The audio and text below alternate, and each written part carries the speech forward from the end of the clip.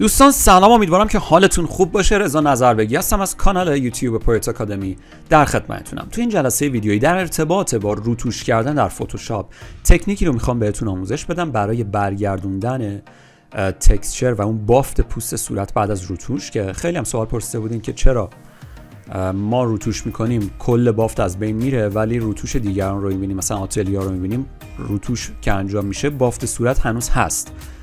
در واقع تمام بافت صورت بعد از روتوش از بین میره دوستان عزیز. ولی با تکنیک هایی میشه بخشی از این بافت رو برگردون و یه مقدار چهره رو طبیعی تر نشون داد. خب بعد از روتوش همه چی صاف میشه. قرار نیست که ما همه چی رو خیلی یه نواخت و صاف تحویل مشتری بدیم. شاید اگر به تصاویر و عکس های 15 سال پیش برگردین 10 سال پیش برگردید می‌بینید که کلا همه چی صافه. یعنی بعد از روتوش کردن در آتلیا هیچ تکسچری بر نمیگشت و بعدها یواش یواش این تکنیکا استفاده شد و دیدیم که خیلی جواب بهتری میده حالا طبیعی تری رو برای پوست حفظ می‌کنه البته یه موردی رو بهتون بگم تصاویری که در. در آتلیا می‌بینید مثل همین موردهایی که من اینجا استفاده می‌کنم خب با دوربین های هم عکاسی شدن. ولی شما باز هم می‌تونید تصویرتون رو در کامرا رو رنگش رو عوض کنید حالت مختلف بهش بدین می‌تونید سایه بدین می‌تونید بوکه ایجاد کنین. مثلا این قسمتی که می‌بینید حالت بوکه تصویر که اون پشت محو شده همه اینا رو میشه در فتوشاپ درست کرد. اگر درس های 0 درصد فتوشاپ در کانال یوتیوب پورت آکادمی رو دنبال کرده باشید روش های مختلفی رو براش بیان کردم و ابزارهای مختلف برای ایجاد تمام این موارد هستش. حالا ما فقط بریم سراغ این گزینه‌ای که اینجا هستن و با هم کار کنیم. بیشتر می‌خوام تکنیک کار بهتون نشون بدم. یه زوم کنیم روی پوست صورت این کرکتری که اینجا هستش. بهتون نشون بدم. ببینید ما اینجا برای بخش بینی همونطور که می‌بینین دوندونایی که وجود داره کاملا مشخصه که بافت خود صورته و کیفیت خوب دوربین اینا رو به ما تحویل داده. اما در این قسمت بالا خبری از بافت صورت نیست. اینا کاملا مصنوعیه و ما می‌تونیم اینا رو ایجاد کنیم این بخش ها رو. حتی این نور روی صورت رو هم میشه ایجاد کرد.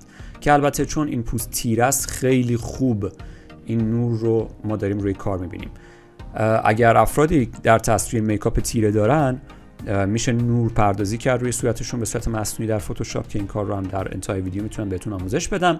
ولی ببینید اطراف چشم کاملا بافت و تکسچر خود صورته که تا اینجاها حفظ شده این دایره که اینجا می‌بینید حفظ شده این قسمت ها مصنوعیه برای بوکم اگر ببینید بوکی تصویر اینجا شکل گرفته شما خودتون می‌تونید این قسمت ها رو سلکت کنید.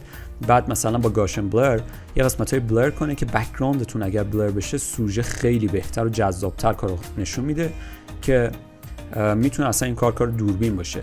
ببینید این قسمت صافه کاملا صاف و یه نواخت. یعنی بعد از روتوش همونجوری صاف مونده دیگه. اینجا ادیتور و روتوش کار روش کار نکرده و این قسمت رو صاف نگه داشته. یا فکر می‌کنم روی چونه هم همین حالت وجود داره. اگر دقت کنید این قسمت ها صافه. این بخش یه تیکه رو می‌بینید.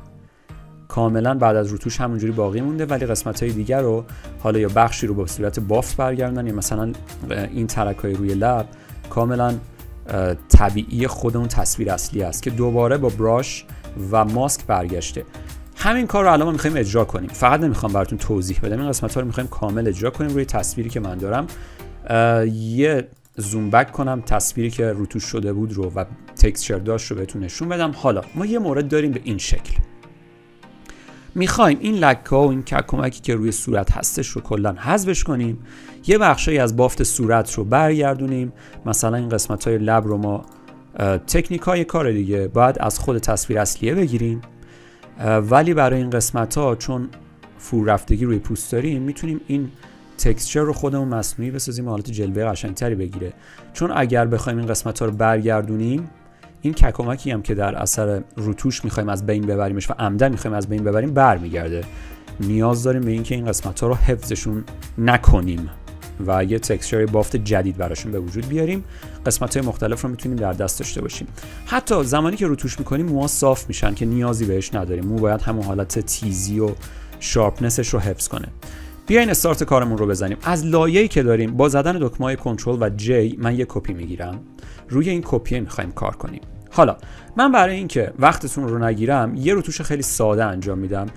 چند تا روش روتوش کردن رو به حالت های مختلف و استایل مختلف استفاده کردم. یعنی انجام دادم تکنیک ها و پروژه رو در کانال یوتیوب پرویت آکادمی می‌تونید ببینید. در playlist تکنیک های فتوشاپ البته در description هم می‌تونم لینکش رو براتون بذارم که استفاده کنیم. اون ویدیو رو اگه ندیدید ببینید. حالت روتوش مختلف رو در دست بگیرید یه توضیح سریع دیگه هم بهتون بدم. روتوش کردن یه سری تکنیک های خاص داره که اگر search کنید تو اینترنت هم بهتون میده. منم در کانالم گذاشتم در کانال یوتیوب پرویت آکادمی می‌تونید ببینید تکنیک ها رو. اما جدا از اون تکنیک ها یه سری ریزه کاری هم خودتون باید انجام بدید که دیگه تکنیک خاص خودتون رو در روتوش کردن داشته باشید. خیلی مهمه که این کار هم انجام بدید. پوست با پوست هم خیلی فرق می‌کنه. هر نوع پوستی مثلا اگه پوست تیره تر باشه روتوشتون و اون سایه پردازیتون نرم کردن پوست رو باید کمتر یا بیشتر کنه اگر روشنتر باشه حالت خودش رو داره. اینا رو باید در نظر بگیرید که به مرور اگر کار کنید حرفه‌ای تر خواهید شد. خب روی این لایه کپی من میرم سراغ فیلتر. گزینه Camera Raw رو میارم. از نسخه که من استفاده می‌کنم نسخه 14 Camera Raw هستش. زوم کنم می‌بینید. این قسمت نوشته Camera Raw version 14 رو من دارم استفاده می‌کنم. خیلی با هم تفاوتی ندارن. بیشتر ظاهرشون متفاوته. مثلا من الان می‌تونم بیام در همین قسمت setting اصلی که دارم edit اصلی که دارم بیام در بخش texture clarity و dehaze یه مقدار تغییرات ایجاد کنم. مثلا texture رو کلا ببرم سمت چپ. ببینید این sharpness تصویر کم میشه و کلا می‌خوام مات کنم این بخش رو. اصلا نگران نباشیم. قسمتی که بخوایم رو دوباره می‌تونیم sharp شون کنیم بعدا. clarity رو هم کم می‌کنم که باز هم پوست نرمتر بشه. کلا این لکه ها داره از بین میره. ببینید بعدا می‌تونیم با healing brush و موارد مختلف هم اینا رو درست کنیم.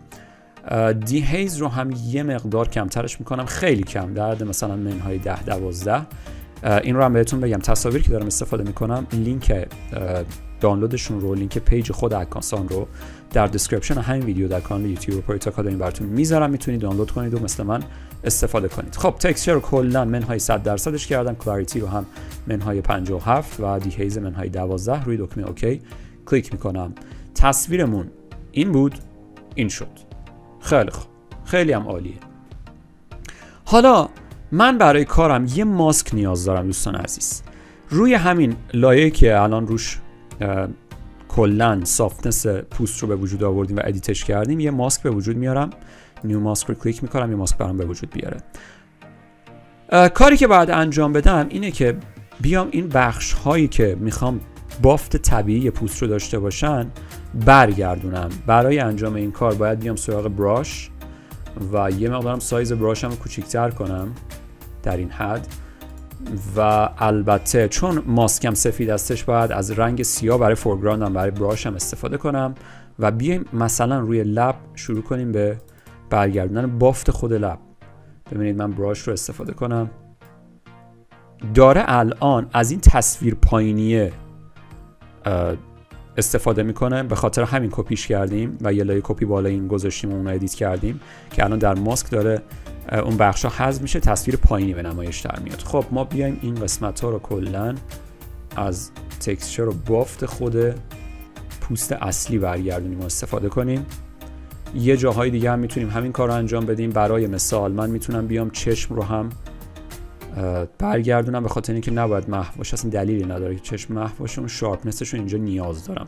اطراف چشم ها هم همینطور می‌تونم این قسمت ها رو برگردونم. ببینید ما اینجا اطراف چشممون رو اون خط و خطوط رو از بافت اصلی صورت گرفتیم. حتی میکاپ دور چشم مشخص می‌کنه که این قسمت ها رنگش روشنتر از دور چشمه. این نشون میده که اینجا ما روتوش رو داشتیم. اینجا بافت اصلی صورت که رنگ رو هم برگردونده دوباره داریم می‌بینیم. پس من میام این قسمت ها رو براش همون کار رو می‌کنم.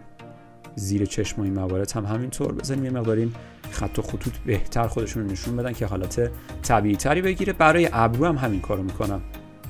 این خطوط ابرو یه مقدار تیزتر باشه به این حالت و ما بقیه قسمت ها رو برمیگردونم. یه مقدار براشمون رو بذاریم بزرگتر کنم که بتونیم بهتر استفاده کنیم. حتما براشتون سافت راوند باشه که اطرافش یه حاله ای رو داشته باشیم. اگه تیز باشه خیلی بد کارمون نشون میده. ببین برای بینی هم می‌تونم یه قسمت رو برگردونم که بافت خود بینی رو به من نشون بده. این قسمت ها رو به این حالت. هر جایی هم که نخواستین دوباره می‌تونیم از همین ماسک حذفش کنیم. پس بذاریم این قسمت ها باقی بمونه. برای دور چشم هم یه چند تا کلیک اینجا می‌زنم که بتونم بافت اصلی خود چشم رو اینجا ببینم یه موقع کار جذابتر بشه. به این حالت. خب. بنابراین اون قسمت هایی که نیاز هست بافت اصلی بدن رو داشته باشیم رو اینجا من برگردوندم. یه زوم اوت کنیم. بریم سراغ ایجاد یک بافت مصنوعی که از اونم استفاده کنیم برای ادامه کارمون. من بخش موها رو هم می‌تونم حتی جدا کنم. باز هم با همین براشم. یه موقع سایز براش رو بازم بزرگتر کنم.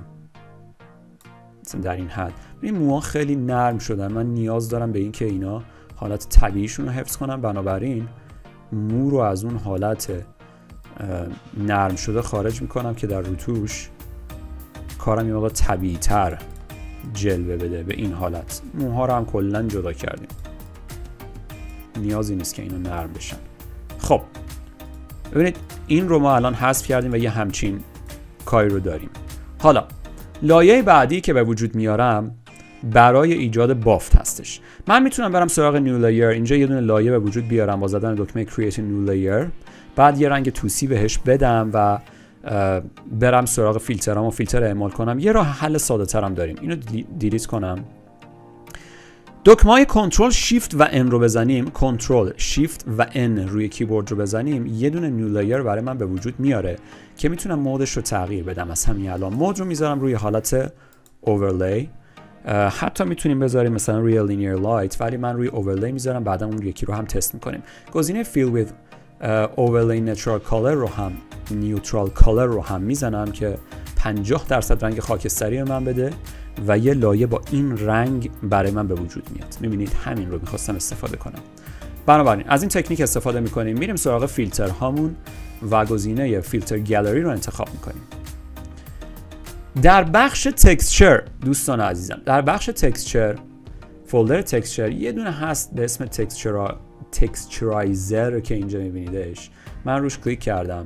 وقتی روش کلیک می‌کنید حتما texture تون باید روی sandstone باشه. اگر مثلا روی canvas هستش شما بزنید روی sandstone حالتش رو هم بزنین روی top left روی top left قرار بدین.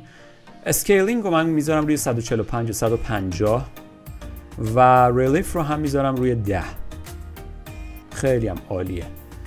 این مواردی که استفاده کردین روی دکمه OK کلیک کنید. یه همچین texture رو اینجا براتون به وجود میاره. من اگه زوم کنم بهتر مشخص میشه. ببینید یه بافت مصنوعی ما داریم اینجا ایجاد می‌کنیم. این فقط یکی از تکنیک های ایجاد بافت مصنوعی برای صورتی که می‌خوایم الان باهاش کار کنیم. خب من یه مقدار فیل رو کم می‌کنم از همین الان چون اون خیلی تیزه و نیاز به اون همه تیز بودن نداریم. اینو بذاریمش روی مثلا 45 درصد. فیل رو گذاشتم روی 45 درصد برای این لایه جدیدی که به وجود آوردیم. و یه ماسک هم براش به وجود میارم. حالا برای اینکه من بخش هایی از این رو داشته باشم بخش از این بافت مصنوعی رو فقط می‌خوام همش رو نمی‌خوام میام ماسکم رو کانورت می‌کنم. دکمه های کنترل و آی رو می‌زنم که ماسکم مشکی بشه و برعکس عمل کنه. یعنی کلا من اون تکسچر رو نبینم هر قسمتی رو خواستم برگردونم. میریم سراغ براش سایزش هم همین حدودا خوبه. می‌خوام یه مقدار بزرگ باشه که حالت محو بودن دور کار کار زیباتر و طبیعیتر برای من نشون بده. رنگمونم قاعدتا باید رنگ براشمون رو سفید کنیم که من رنگش رو سفید می‌کنم به خاطر اینکه ماسکم سیاهه. پس براش سفید و این قسمت ها رو می‌تونم برگردونم. می‌بینید می‌تونم اینجا کلیک کنم. یه قسمت هایی رو به این بافت اضافه کنم. ما بقیه قسمت ها رو نیاز نداره. حالا من یه مقدار زوم اوت می‌کنم. کار رو از عقبتر ببینیم و مثلا گردن رو هم برمیگردونم. یه مقدارم برای این قسمت ها می‌ذارم که یه حالت طبیعی تری بگیره مثلا برای چونه یا اطراف دور لب روی پیشونی قسمت هایی رو می‌تونیم برگردونیم به این حالتی که می‌بینید. یه مقدار این تکسچری که ما ایجاد می‌کنیم کارمون رو جذابتر و قشنگتر می‌کنه. مخصوصا برای گونه خیلی بهش نیاز داریم که اون برجستگی رو ایجاد می‌کنه اینجا برامون و کار رو طبیعی تر خواهد کرد. باز هم می‌تونم اینجا فیل رو کم و زیاد کنم. خب روی 45 بودیم. اگه من 45 رو ببرم بذارم روی 54 یه مقدار مثلا کار رو بهتر به من نشون میده. سایز تصویرمون هر چقدر باشه این فیل به اون بستگی داره دیگه. اگر سایزمون کوچیک‌تر و بزرگتر بود این فیل رو کم و زیاد می‌تونیم بکنیم. اون دونه ها خیلی هم دیگه نباید خودشون نشون بده که مقدار کار مصنوعی بشه. فقط می‌خوایم یه مقدار کار رو جذابتر کنیم. نه اینکه کلا مصنوعیش کنیم. این قسمت ها رو که برگردوندیم بخش هایی که مد نظرمون بود برگردوندیم رو من الان می‌تونم بیارم و دوتاشو یه گروه تبدیل کنم یه گروه ازش بسازم که بهتون بیفور افتر کار رو نشون بدم. این قبل بود این بعد از کارمونه و الان تکسچر رو هم داریم. اگر تکسچر رو من حذفش کنم این صورت کاملا صافه با این یه مقدار جزئیات بیشتر خواهد شد. زوم کنیم بهتر مشخص میشه. ببینید. بدون تکسچر با تکسچر. یه مقدار این بافت پوست رو اگر بهتر ایجاد کنیم یعنی برای پوست صورتمون این بافت رو ایجاد کنیم کارمون طبیعی تر خواهد شد. من این فیل رو کمش کنم یه مقدار باز که دیگه خیلی هم غیر طبیعی نشه. یه همچین حالتهایی رو داریم. حالا خودتون باز هم می‌تونید چک کنید که اگر نیاز هست بخش های مثلا مثل این قسمت های بینی از بافت اصلی صورت تغذیه بشه. من روی ماسک این صورت پایینی کلیک می‌کنم. رو ماسک حتما باید کلیک کنید که بتونید از براش استفاده کنید. و چون ماسکم سفیده از رنگ سیاه استفاده می‌کنم. یه مقدار این قسمت های بینی رو برگردونم. قسمت های گوش رو مثلا دوباره برگردونم. می‌بینید این تیرگی پایین گردن یا این بخش ها رو برگردونم که کارم طبیعی تر بشه. به این حالت. تک کلیک کردنم می‌تونم این قسمت ها رو برگردونم. حالا بیفور افتر رو اگر نگاه کنید خیلی کارمون تمیزتر شد و ما هم می‌تونیم به این شکل یه قسمت هایی رو با عنوان تکسچر مصنوعی استفاده کنیم و به کار ببریم. این بخش نوری هم که شکل گرفته این تکنیک رو هم بهتون آموزش بدم. چون این تصویر رنگ تیره داره خیلی خوب خودشون نشون میده. اما روی این سفیدی هم من می‌تونم این قسمت ها مثلا این کار رو انجام بدم. بزنین. یه لایه جدید به وجود بیاریم بالاتر از این گروه یه لایه به وجود بیارم بنظامش بالا. خب. براش هم برمیدارم از رنگ سفیدم استفاده می‌کنم. سافت راوند باشه یه مقدارم سایزش رو کوچیکتر می‌کنم. در این حد و حدود. اینجا یه خط و رنگ سفید با brush به وجود میارم. به این شکل می‌بینید این قسمت ها رو بپوشونه. حالا double click می‌کنم. layer style برای من به نمایش در میاد. در همون blending options پایین این گزینه ای که اینجا می‌بینید underlying layer من این نوار مشکی رو به سمت راست می‌برم یه مقدار. بذارین zoom out کنم که شما با اتفاقی که میفته بهتر روبرو بشید. می‌بینید چه اتفاقی افتاد؟ یه همچین حالتی داره به وجود میاد و این قسمت دارن حذف میشن با نویز من حالا اگر دکمه Alt رو نگه دارم و یکی از این دولبه این غلتک رو drag کنم به این شکل این حذف شدن رنگ سفید و ایجاد نویز به عنوان نور رو بهتر من تحویل میده. حالا دکمه آلت رو رها می‌کنم دوباره این قسمت ها رو تصحیح کنم. به این شکل می‌بینید می‌تونم یه بخش هایی رو کنترل کنم برای اینکه نور به وجود بیاد. خب به هر حال چون پوست سفید این قسمت رو داریم ممکنه به اون خوبی به نمایش در نیاد. من رو همون تصویر اگه برم این کار رو انجام بدم ممکنه بهتر خودش رو نشون بده. بیایم یه مقدار تلاش کنیم که یه رنگ بهتر و این نور بهتر رو اینجا تحویل بگیریم. به این حالت که می‌بینید رنگ سفید رو می‌تونم کمتر کنم. دکمه اوکی رو بزنم. بعد یه مقدار اپاسیتی یا فیل رو کمترش می‌کنم. خیلی کم شد. می‌بینید نور مصنوعی می‌تونیم ایجاد کنیم به این حالت. من حتی می‌تونم با رنگ سفید یه قسمتهایی رو در این بخش هم به وجود بیارم.